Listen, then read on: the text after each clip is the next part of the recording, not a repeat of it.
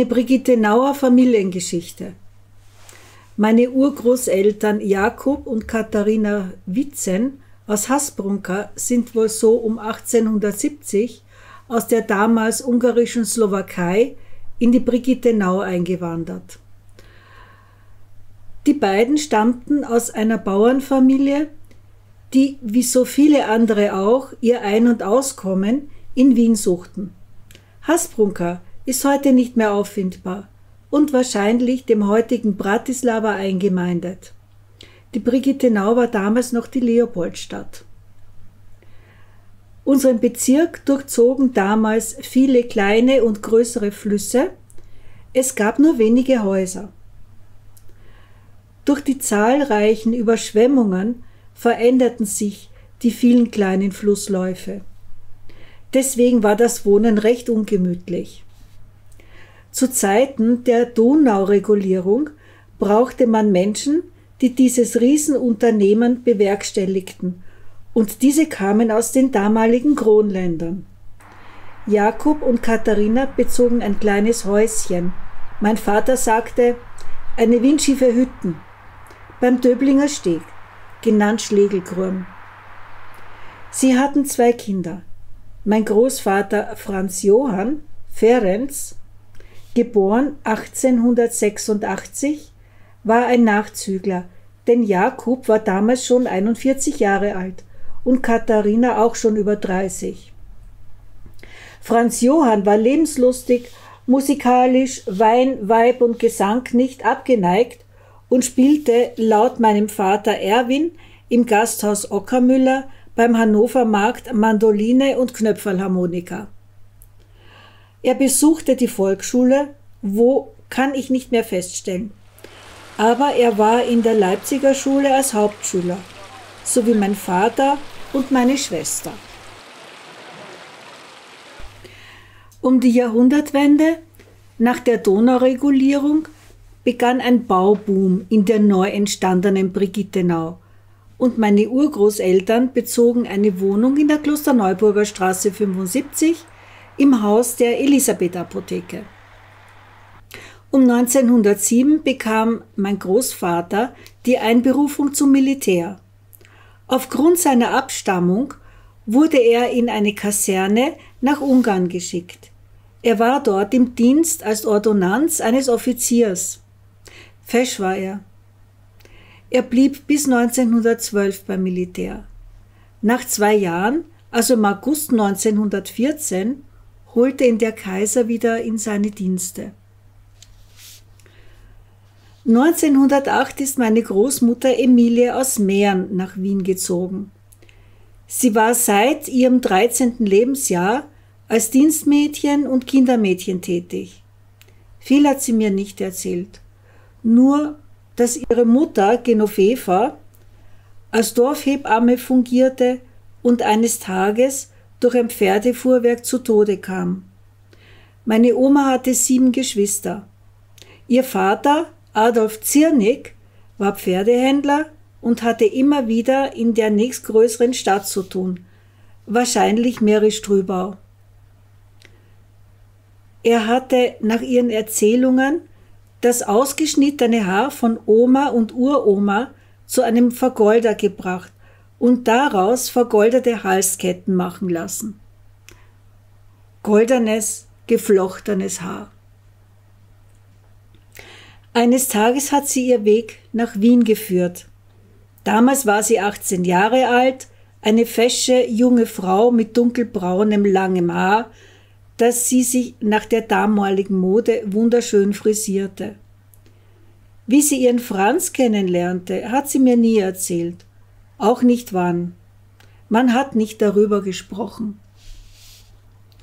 Jedenfalls haben die beiden eine Zeit lang in der Klosterneuburger Straße bei Opas Eltern gewohnt.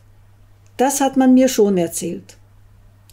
Dann sind sie in die Tennisgasse 40 umgezogen, in eine ganz winzige Wohnung, die nur aus einer kleinen Küche und einem Wohnschlafzimmer bestand. Die Küche hatte kein Fenster, nur in der Türe war eines, wohl zum Lüften und um zu sehen, wer davor stand. Das Wohnschlafzimmer ging in die Tennisgasse. Die Wohnung lag im vierten Stock und man hatte damals einen wunderbaren Blick zum Kahlenberg. Oma war sehr, sehr penibel. Wie sie das in der kleinen Wohnung geschafft hat, bewundernswert. Sie hatten nicht so viel klumpert wie wir heute. Und sie hat nichts aufgehoben, was sie nicht wirklich brauchte. Und man hat sich früher nicht dauernd irgendwas gekauft. Opa war vor dem Ersten Weltkrieg Drechsler. Er war ein äußerst geschickter Handwerker. Dann kam der Krieg, in den viele mit lauten Hallo und Schinderasser direkt in die Katastrophe marschiert sind und der das Leben aller verändert hat. Opa wurde natürlich an die Ostfront geschickt, wieder in eine ungarische Einheit. Er war laut der alten Dokumente, die ich besitze und nur mühsam entziffern kann, nach Ungarn zugehörig, obwohl in Wien geboren. 1915 haben Franz Johann und Emilie geheiratet.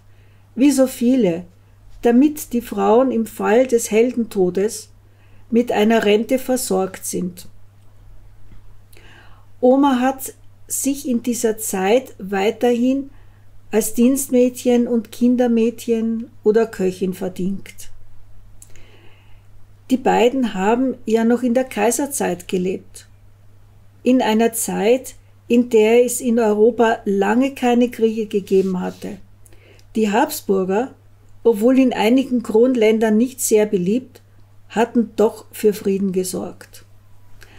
Meinen Urgroßeltern und Großeltern ist es auch in den schlechten Zeiten nicht ganz schlecht gegangen.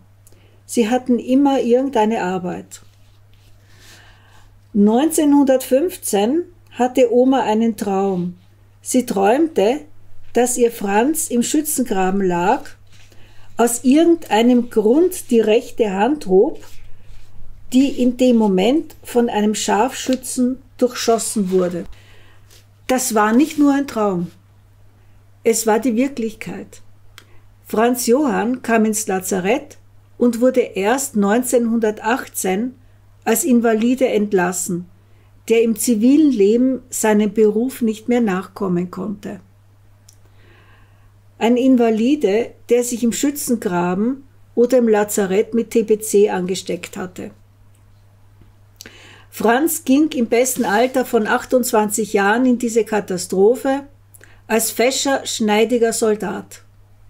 Seinen Dienstgrad weiß ich nicht, denn auf dem einzigen Foto, das ich von ihm in Uniform und in diesem Alter besitze, hat er ihn weggekratzt.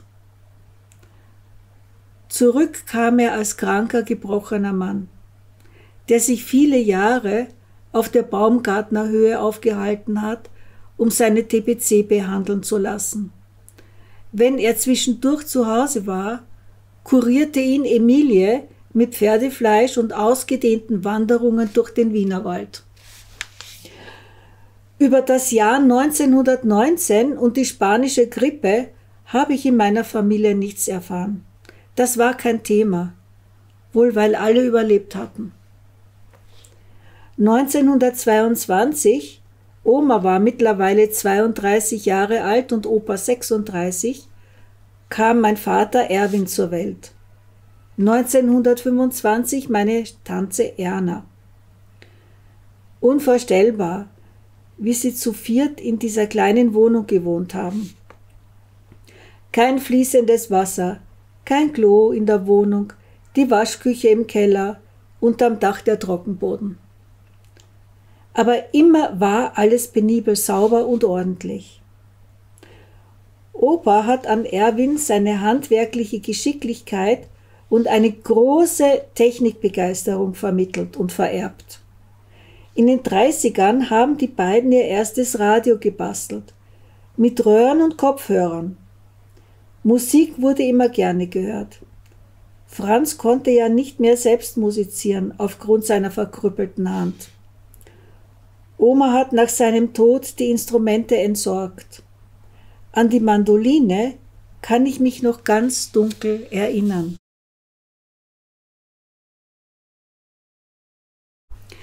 Katzen gab es auch. Oma, die ja vom Land kam, sehnte sich nach etwas Natur, und Katzen waren wichtig, um Mäuse und Ratten im Zaum zu halten. Es gab einen Kater und eine Kätzin. Papa hat sie geliebt und ist über ihren Verlust nie hinweggekommen. Über die Katzen hat er viel erzählt.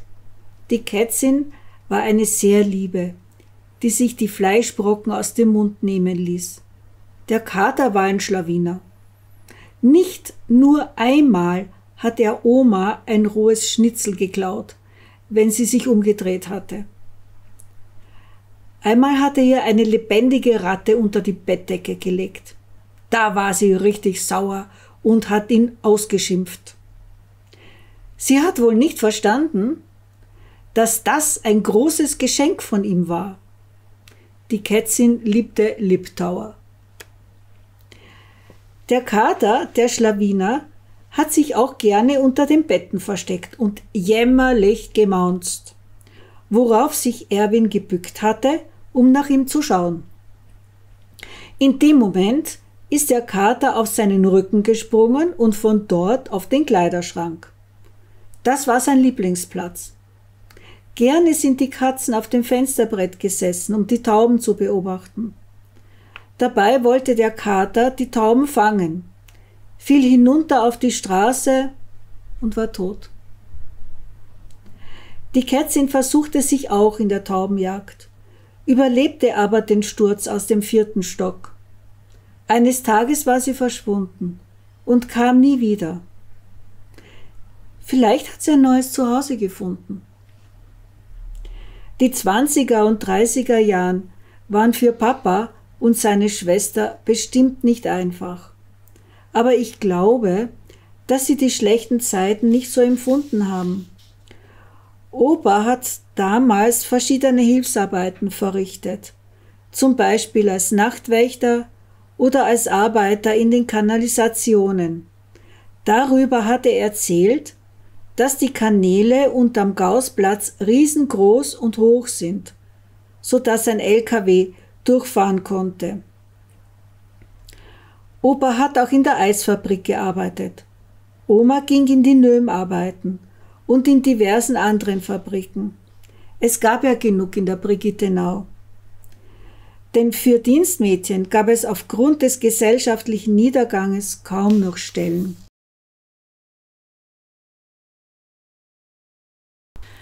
Papa und seine Schwester, Tante Erna, waren oft allein und mussten auf Oma und Opa warten.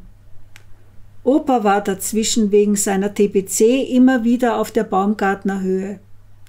Irgendwann, es muss wohl nach 1938 gewesen sein, riet die diensthabende Ärztin meinen Großeltern, nicht mehr zu kommen, denn es wurde für Kranke und Behinderte gefährlich. Früher war auf dem Donaukanal viel los. Das Badeschiff stand an anderer Stelle als heute.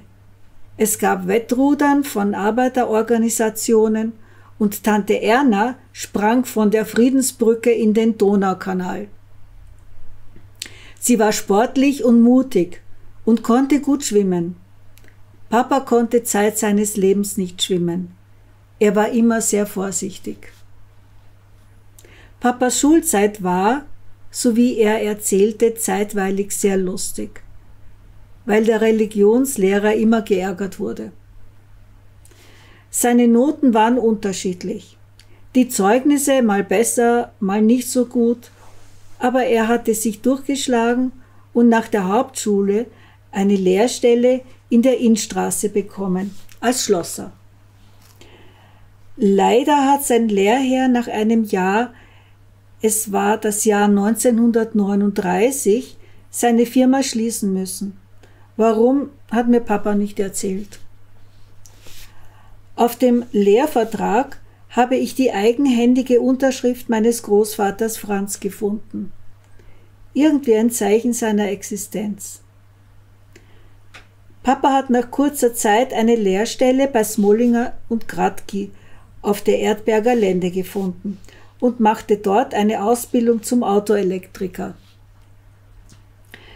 Die Autowerkstätte gibt es heute noch und er blieb dort bis zu seiner Pensionierung. Auch der Lehrvertrag existiert noch und seine Urkunde für die Gesellenprüfung. In späteren Jahren hat Papa sogar Lehrlinge ausgebildet. 1942 bekam er die Einberufung in den Kriegsdienst. Er wurde auf den Balkan geschickt und nach Griechenland. Viel hat er nicht erzählt, nur, dass er eines Tages mit Kameraden in einem Keller saß, in den jemand eine Granate geworfen hatte. Papa ist von der Wucht der Explosion quer durch den Keller geflogen. Er hatte Glück und es blieben ihm auf den Schienbeinen einige Narben, nach denen ich ihn als Kind gefragt hatte. Meinen Söhnen erzählte er, dass er eine Ausbildung zur Panzerabwehr gemacht hatte. Aber zur Ausführung kam es zum Glück nicht.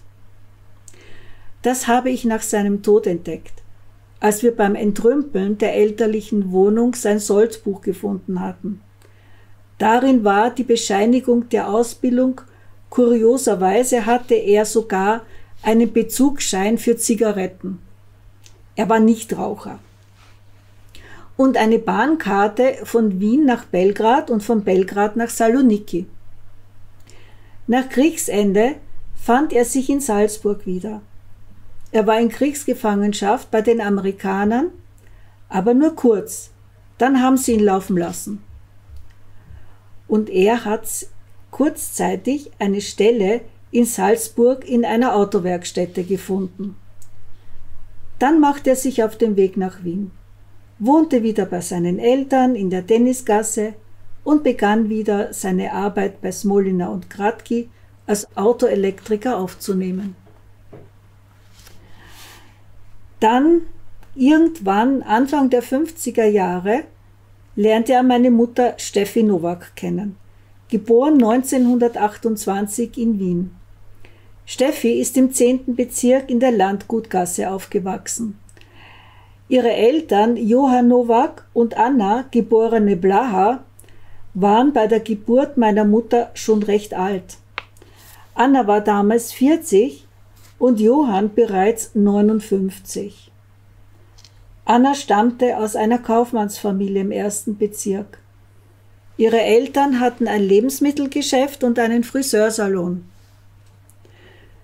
Der Friseursalon gehörte später Steffis Cousin Karl und war direkt neben Maria am Gestade. Ich war als Kind ein paar Mal dort. Das Lebensmittelgeschäft war direkt um die Ecke am tiefen Graben, neben dem Hotel Orient. Beide Räumlichkeiten gibt es noch. In den Räumen des Friseursalons meines Onkel Karls und seiner Frau Ploni, Apollonia, befindet sich jetzt ein Immobilienmakler. Die Räumlichkeiten des Lebensmittelgeschäftes meiner Urgroßeltern stehen leer und verschlossen. Meine Mutter hat nichts erzählt, nur dass sie und ihre beiden ein wenig älteren Brüder Hansi und Willi in längeren Abständen zu Onkel Karl geschickt wurden, um sich die Haare schneiden zu lassen. So kurz wie möglich. Das hieß, die Buben wurden kahl geschoren und Steffi so kurz, dass man gerade noch sehen konnte, dass sie ein Mädchen war. Einmal pro Woche wurden die Kinder zu den Großeltern geschickt, bewaffnet mit einer Milchkanne, um eine gesächte Suppe mit Graupen zu holen. Mama erzählte, dass sie mit Genuss die Fettschicht heruntergeschlürft hatten. Viel war ja nicht da in den Dreißigern. Die Nachbarn hatten in der Landgutgasse den Kindern immer Milchhaut geschenkt. Für meine Mutter und ihre Brüder immer eine Delikatesse. Sie hat später nur diejenigen anerkannt, die Milchhaut mochten. Mir hat meine Oma Emilie die Milch immer abgeseit, weil ich mich so geekelt hatte. Mein Großvater Johann Nowak blieb in der Kaserne, damit er für die Familie das Essen bekam. So wurde es mir von Onkel Willi, Mamas Bruder, erzählt. Unser Großvater war ein kranker Mann. Er wurde noch mit 45 Jahren zum Kriegsdienst eingezogen. Auch er kam wie Opa Franz als kranker Mann wieder. Er hatte Herzasthma, an dem er 1934 starb. Meine Mutter und ihre Brüder hatten ein wildes, freies Leben am ehemaligen Areal des Südostbahnhofes. Autos gab es wenige und die Kinder konnten gefahrlos auf der Straße spielen. Eine Geschichte hat mir Onkel Willi immer gerne erzählt. Die drei waren auch ab und zu allein in der Wohnung eingesperrt. Sie besaßen ein großes Flugzeug aus Papier und Holz. Eines Tages übergossen sie das Flugzeug mit Petroleum, das damals noch in jedem Haushalt vorhanden war, um Licht zu haben und um Kopfläuse zu behandeln, zündeten es an und ließen es aus dem Fenster fliegen. Kurze Zeit später klopfte natürlich ein Polizist an die Tür. Die Kinder verkrochen sich unterm Bett und rührten sich nicht. So ist er unverrichteter Dinge wieder abgezogen. Ein Nachspiel hatte die Geschichte ganz bestimmt. Aber von wem sie den Hintern versohlt bekamen, entzieht sich meiner Kenntnis. Sie hatten die Nachbarsbuben, zwei Brüder, als gute Freunde mit denen sie allerhand Streiche ausheckten. Onkel Willi war Zeit seines Lebens mit ihnen in Kontakt. Anna litt unter Depressionen. Kein Wunder. Sie war eine behütete Tochter, die erst spät 1921 an einen sehr viel älteren Mann verheiratet wurde und nach seinem Tod mit drei Kindern alleine dastand. Mama erzählte, dass sie und ihre Brüder oft schreiend hinter Anna hergelaufen sind, weil sie sich vor einen Zug werfen wollte. Es muss wohl so um 1938 oder 1939 gewesen sein, als eines Tages die Fürsorge in die Wohnung in der Landgutgasse eindrang und die drei Kinder vor den Augen meiner Großmutter Anna herausholte. Anna heiratete nach dem Tod von Johann einen Kameraden von ihm. Onkel Willi erzählte, dass er die Sache eingefädelt hatte. Der Stiefvater der Kinder hieß Tüchler, seinen Vornamen weiß ich nicht. Er hieß bei uns immer Landoberbar, denn er lebte nach Annas Tod ganz oben im Waldviertel an der tschechischen Grenze. Er hatte wieder geheiratet und seine Frau war natürlich die Landoma. Wir sind in meiner Kindheit in den 50ern öfters hinaufgefahren. Entweder mit Onkel Willis uralten DKW oder mit der Franz-Josefs-Bahn. Schön war das da oben. So still, dass man die Stille hörte, wie der Wald rauschte, wie die Bienen summten und die Fliegen brummten. Die Landoma legte mich in einen kleinen Leiterwagen den sie ein bisschen auspolsterte, ein großes Huflattichblatt als Sonnenschirm für mich einklemmte und so ausgerüstet mit mir spazieren fuhr. Und ich bin wohl selig eingeschlafen. Zurück in die Dreißiger. Die Kinder wurden in Kinderheime gebracht und so von einem Tag auf den anderen auseinandergerissen. Onkel Hans kam auf den Spiegelgrund. Er war Epileptiker und aufgrund seiner Anfälle etwas entwicklungsverzögert. Er hatte einen Schutzengel. Denn die Bauern haben Kinder herausgeholt. Natürlich zum Arbeiten. Onkel Hans und Onkel Willi waren damals noch in Kontakt. Und Onkel Hans hat Onkel Willi eines Tages gezeigt, wo und wie er beim Bauern wohnt. Onkel Hans brachte seinen Bruder in einen Stall und zeigte ihm eine Stelle im Heu, die sein Bett war. Aber er hat überlebt.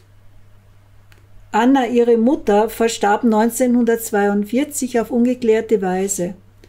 Onkel Willi erzählte, dass sie eines Tages ins Krankenhaus gebracht wurde und nach ein paar Tagen tot war. Zur Beerdigung ging nur Onkel Hans. Onkel Willi erfuhr vom Tod seiner Mutter erst ein Jahr später. Wann Steffi davon erfuhr, hat sie nie erzählt. Die Kriegswirren haben die beiden Brüder auseinandergebracht. Wir haben Onkel Hans erst 1963 mit Hilfe des Dorffahrers in der Nähe von Linz wiedergefunden. Die ganze Familie fuhr zu ihm. Es war sehr berührend. Onkel Willi hat eine Lehrstelle in, der, in einer Bäckerei gesucht, um aus dem Heim herauszukommen.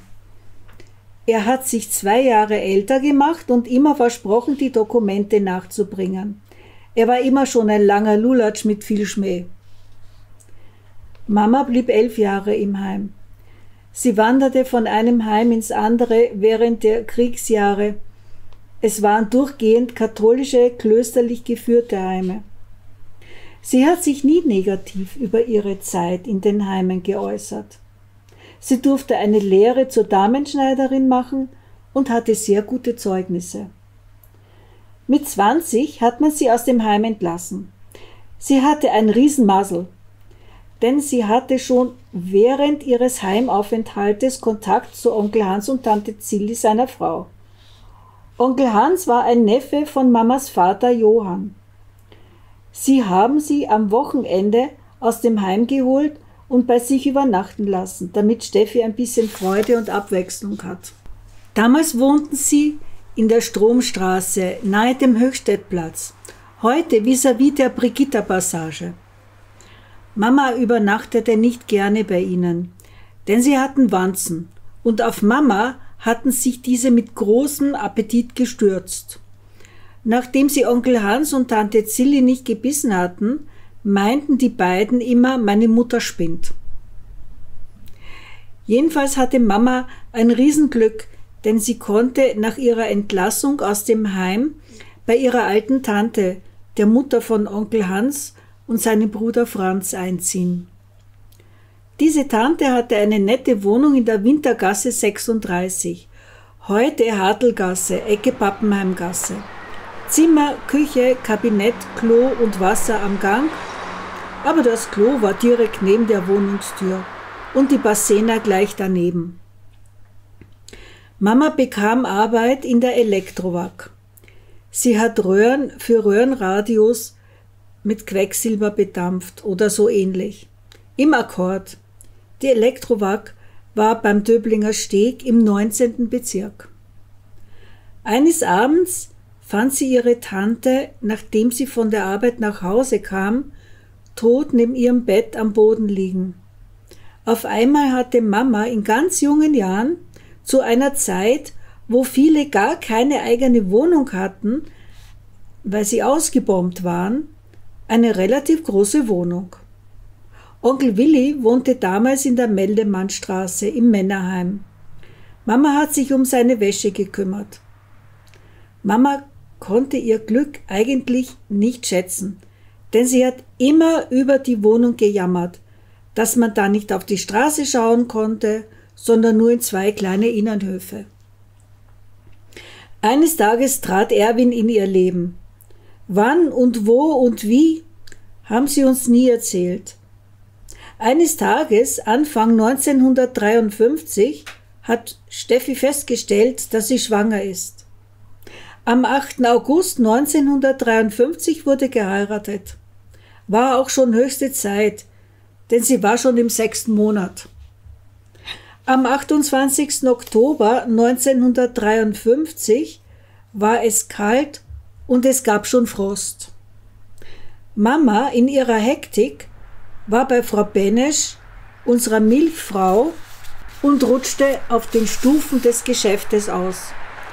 Kurz danach setzten die Wehen ein.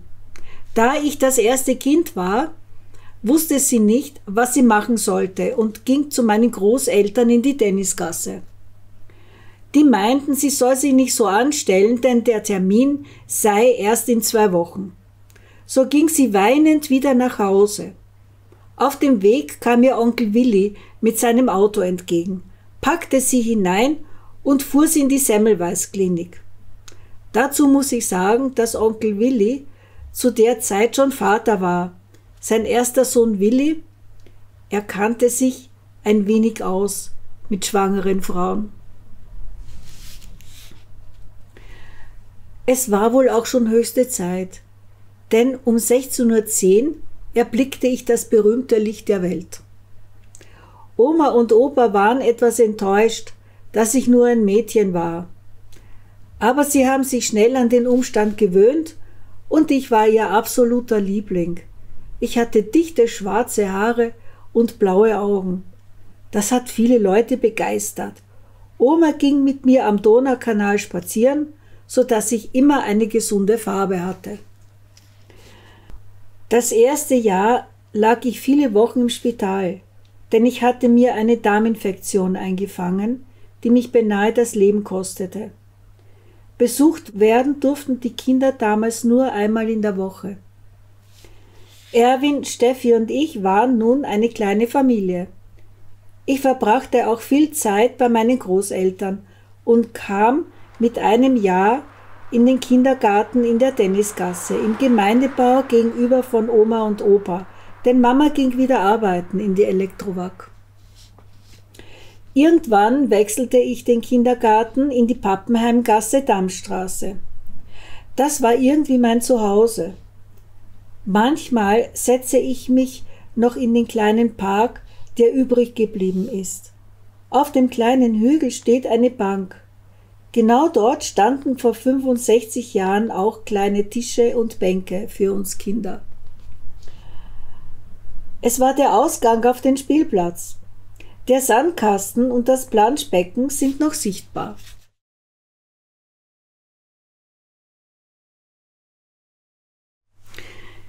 Im April 1956 starb mein über alles geliebter Opa. Ich war damals drei Jahre alt und war gerade bei meinen Großeltern, als er von der Rettung abgeholt wurde. Ich stand zum Abschied mit Oma am Treppenabsatz und rief Papa, oh Papa. Und er winkte mir zurück von der Bahre aus. Wie lange er im Spital war, weiß ich natürlich nicht. Eines Tages sagten sie mir, dass er jetzt im Himmel ist und ich habe immer, wenn ich am Klo saß, durch das Fenster direkt in den Himmel geschaut. Und ich glaube, er hat mir von da oben zugewunken. Immer, wenn ich Fred Bertelmann, den lachenden Vagabunden, singen hörte, habe ich Opa gesehen. Eigentlich bis heute. Warum weiß ich nicht. Vielleicht hatte er immer mitgesungen, wenn das Lied im Radio gespielt wurde. 1957 wurde ich für einen Film gecastet. Ein Film über die Kinder und Jugendlichen der Nachkriegszeit. Mit hochkarätigen Schauspielern wie Paula Wessely, Attila Hörbiger, Vera Tschechowa. Der Film hieß Unter 18. Ich habe ihn 1974 im Fernsehen gesehen. Komisch war das sich selbst zu begegnen. Ich habe mich selbst sehr ungern gesehen. Mein Filmname war Gerti. Den fand ich besonders blöd.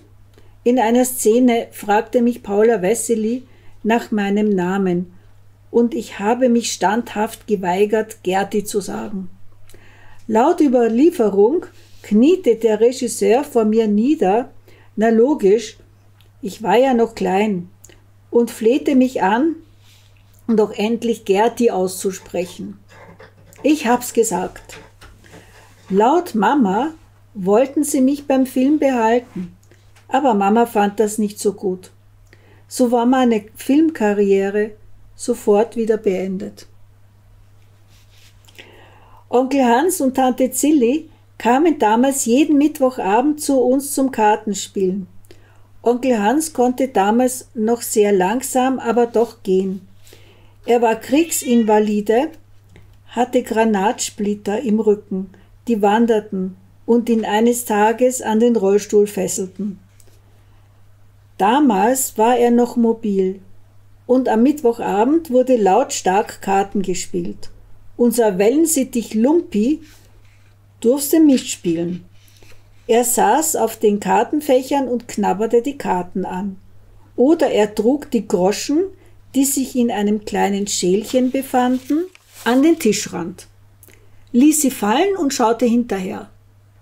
Später, als ich zur Schule ging, gingen meine Eltern Mittwochabends zu Onkel Hans und Tante Zilli, da Onkel Hans immer schlechter gehen konnte. Eines späten Abends, ich war schon eingeschlafen, klapperte ein Möbelstück, eigentlich eine kleine Schultafel, die bei meinen Füßen stand. Ich wusste genau, dass ich nicht mit dem Fuß dagegen gestoßen war. Am nächsten Morgen fragte mich meine Mutter, ob ich das Erdbeben bemerkt hätte. Na ja, irgendwie schon, aber ich konnte es ja nicht interpretieren. Meine Eltern haben jedenfalls ihr Kartenspiel beendet und ich bin seitdem sehr hellhörig geworden. 1972 gab es wieder ein Erdbeben in Wien. Ich war wieder allein. In der Adalbert Stifter Straße, im zehnten Stock. Die Möbel rutschten von der Wand und einige Leute liefen aufgeregt auf der Straße umher. Im Haus und in der Wohnung gab es tiefe Risse in den Wänden. Meine Eltern haben drüber tapeziert. So gingen die Jahre dahin. Wir waren eine Familie wie im Bilderbuch. Wir haben die Wochenenden bei Onkel Willi und seiner Familie verbracht oder sie bei uns. Er hat, nachdem er Vater wurde, geheiratet. Meine Tante Mitzi. Und zwei Jahre nach mir haben sie noch einen Sohn bekommen. Meinen Cousin Wolfgang.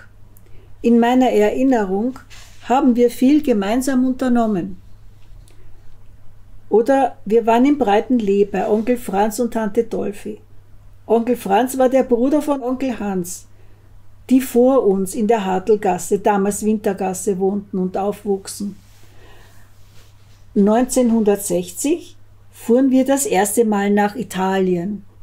Caorle hieß der Sehnsuchtsort an der Adria. Damals gab es dort nur ein einziges Hotel. Das Hotel Marina. Gibt's heute noch. Ansonsten war es ein verschlafenes Fischerdorf. Ich erinnere mich noch sehr gut an diesen Urlaub, obwohl ich erst sechs Jahre alt war. Wir fuhren in einem größeren Familienverband mit dem Busunternehmen Göttler über Nacht nach Kaorle.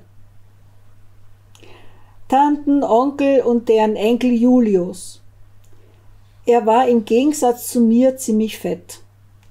Aber damals war ein dickes Kind ein gesundes Kind. Schlank sein war Armut. Mich haben die Erwachsenen immer gehänselt, auf eine sehr ungute Art. Schatz, sitz wie ans Blade kommt.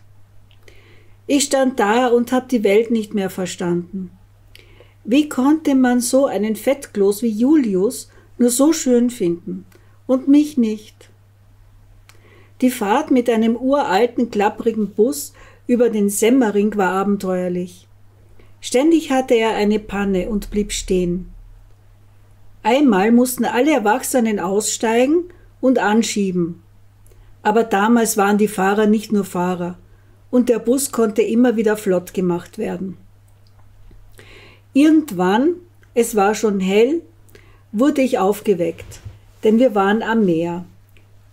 Tante Zilli machte mich darauf aufmerksam, aber ich war nicht besonders beeindruckt. Das richtige Meer mit Sandstrand, ja, das war was anderes.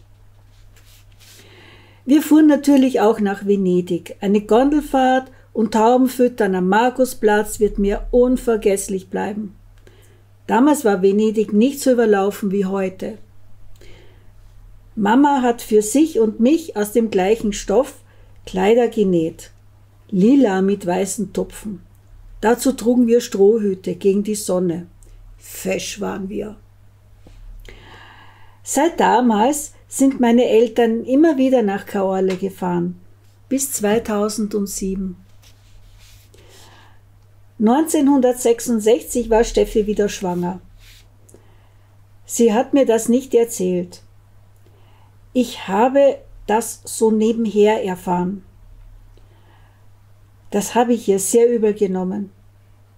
Am 19. Mai 1966 war der Tag meiner Firmung. Mama und sogar Papa waren in der Michaelerkirche anwesend. Ich verbrachte den ganzen Tag bei Tante Mitzi, die meine Firmenpatin war, bei Onkel Willi und Willi. Wolfgang, mein jüngerer Cousin, war zu diesem Zeitpunkt kaum noch zu Hause. Er war bei den Sängerknaben. Wir gingen nach der Zeremonie der Firmung in den Prater essen. Am Abend fuhr ich wieder nach Hause. Aber Mama war nicht da. Nur Papa, der mir mitteilte, dass Mama schon im Spital war. Das war aufregend. Am nächsten Tag kam Papa vom Spital mit einer großen Tasche voller Babysachen nach Hause. Eine richtige Erstausstattung, mit allem, was ein Baby so brauchte für den Anfang und mit der Mitteilung, dass ich jetzt eine Schwester habe. Die Stoffwindeln hatten so eine gute Qualität, dass ich sie später noch für meine drei Söhne verwenden konnte. Papa versuchte sich in dieser Zeit mit Kochen. Seine Nudelsuppe, die so dick war, dass ein Löffel drinnen stecken blieb, ist bis heute legendär. Ich glaube aber, dass wir öfters bei Oma gegessen hatten. Natürlich bin ich auch mit ins Spital gefahren. Die anderen Verwandten haben mich sofort dazu verdonnert, doch bei meiner Mutter, äh, was die Aufzucht des neuen Familienmitgliedes betraf, mitzuarbeiten. Steffi hat das natürlich für bare Münze gehalten und ich war schon integriert in die Babypflege. Wickeln, füttern, baden, anziehen und was so dazugehört.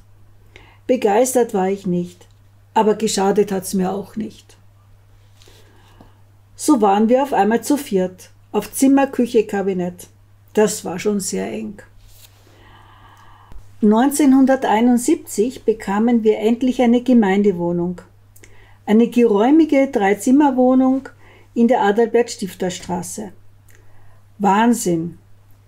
Der Umzug fand im August an einem der heißesten Tage des Jahres statt. Onkel Willi, Willi und Tante Mitzi halfen tatkräftig mit. Und wir schleppten unsere Habseligkeiten hinunter auf die Straße und in den Lieferwagen von Onkel Willi, den er von der Bäckerei, in der er immer noch arbeitete, geliehen hatte. Es war so heiß und so aufregend, dass ich die halbe Nacht nicht schlafen konnte. Mama und Papa waren sehr stolz auf ihre Wohnung im zehnten Stock mit einer grandiosen Aussicht. Man hatte Platz und ich ein eigenes Zimmer. Ich bekam ganz elegante Möbel, die wir im Möbelhaus Trinkel kauften. Ich durfte mir eine tolle Tapete aussuchen. Flower Power. Und an einer Wand gibt es noch immer diese Tapete. Da steht jetzt ein Kleiderschrank davor. Aber wer weiß. Die Möbel habe ich heute noch. Denn jetzt wohne ich mit meinem jüngsten Sohn in der Wohnung meiner Eltern, auf die sie so stolz waren und bei der es ihnen ungeheuer wichtig war, dass diese so geliebte Wohnung nicht in fremde Hände kommt. 1977 verstarb Oma Emilie, Papas Mutter. Sie trank ein Glas Wein mit dem Geldbriefträger, der ihre Rente brachte. Als er ging, fiel sie um und war tot. Als Erwin und Steffi in Pension waren, sind sie mit ihren Freunden oft auf Reisen gewesen. In Italien, in der Schweiz, in Ungarn. Einen Schrebergarten haben sich die beiden auch gekauft wunderschön am, Sta am Schaffberg, mit einem festen Haus, in dem man im Sommer wohnen kann, mit einer kleinen Küche, einer Dusche, einem Schlafzimmer und einem süßen Wohnzimmer mit Bauernmöbeln. Heute ist meine Schwester Isabella die Inhaberin dieses wunderbaren Gartens. Papa kümmerte sich in den letzten Jahren seines Lebens um Steffi, die immer mehr in Demenz verfiel. 2016 brach er eines Morgens zusammen und verstarb, nach zwei Wochen im Spital. Er hat sich kurz vor seinem Tod besorgt nach Steffi erkundigt und gefragt, was mit der Wohnung wird. Er starb am 26. Jänner 2016 im 94. Lebensjahr. Steffi musste ich sofort in ein Pflegeheim bringen, denn ich hätte mich nicht um sie kümmern können. Ich war noch berufstätig. Sie verbrachte ihre letzten drei Lebensjahre im Pflegeheim und beschloss, zwei Monate vor ihrem Tod zu sterben. So war es auch. Sie wollte nicht mehr essen, nicht mehr aufstehen, nicht mehr kommunizieren. Sie hat sich wie eine Pflanze im Herbst in sich zurückgezogen und starb an einem Samstag am 2. Februar 2019 im 91. Lebensjahr. Mitte Oktober 2016 wurde sie Uroma und konnte ihre Urenkeltochter in den Arm nehmen.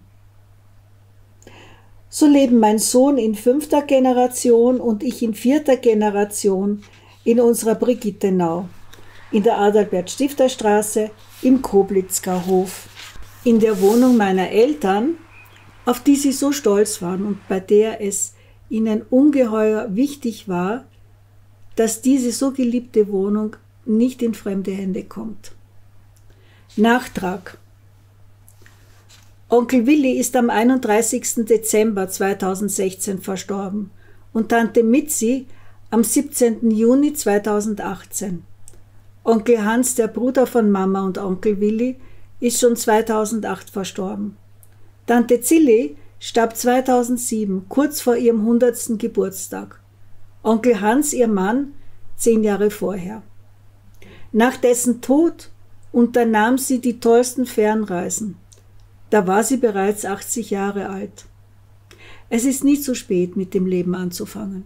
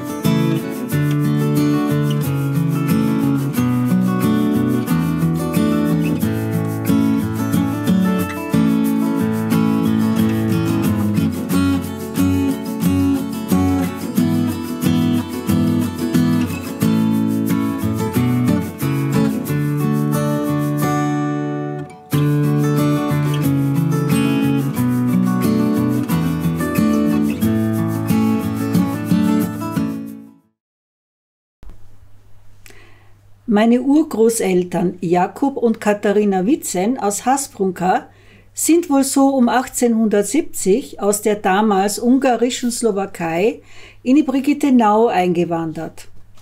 Die beiden stammten aus einer Bauernfamilie, die, wie so viele andere auch, ihr Ein- und Auskommen. Schnitt.